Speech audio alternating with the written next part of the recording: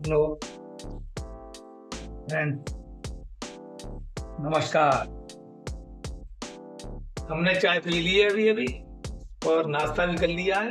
आप ने किया कि नहीं? आपको मिलाते हैं अपने नए मेहमान से।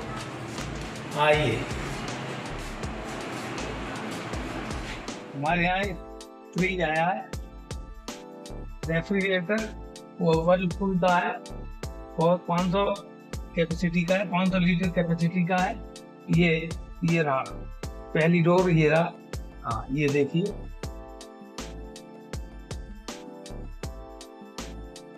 ये आए। दूसरा ये। ये डोर रहा।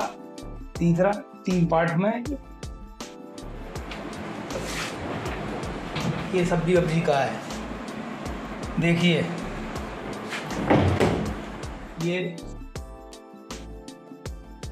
ये तीन पार्ट्स में है। फ्रीजर और चिलर ये फ्रीजर रहा देख रहे हैं आप? ठीक। ये बंद करते हैं ये चिलर है। देखिए और ये ये वेजिटेबल तो फल रखने के लिए है। ये बहुत बहुत अच्छा है।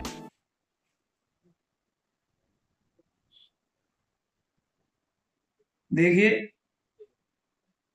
ये बहुत अच्छा है।